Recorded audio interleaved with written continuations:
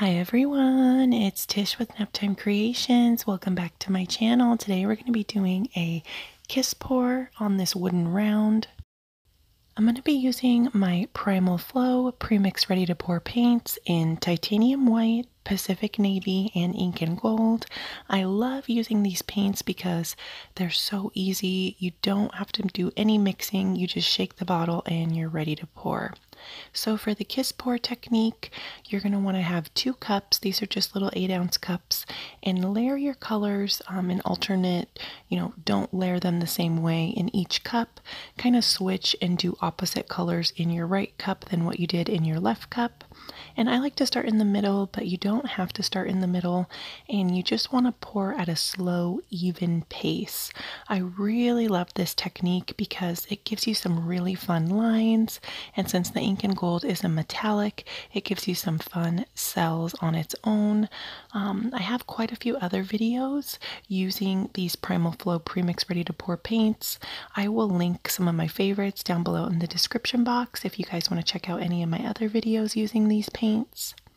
So I'm just giving it a tilt to see what I can come up with. I absolutely love how this one turned out, um, but unfortunately, you know, I didn't prime the wooden round, so my piece got a little bit warped as it was drying. I was super bummed about that, um, and I should have went in and primed the board so that way you know I didn't have the problems with the warping but that's okay lesson learned it's one of those things where you know it was a learning experience. I still think it turned out really pretty. Um, like I said, the kiss pour technique is one of my favorite techniques. I just feel like they always turn out really, really gorgeous, and I love the lines that you get from this technique.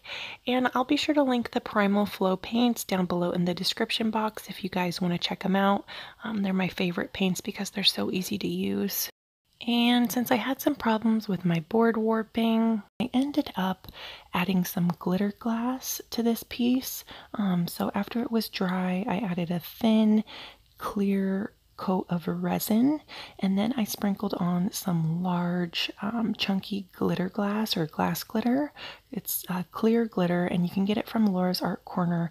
I'll link it down below with my in my description box um, so you can get a discount if you guys want to pick some up and um, I just sprinkled that on top of the wet resin.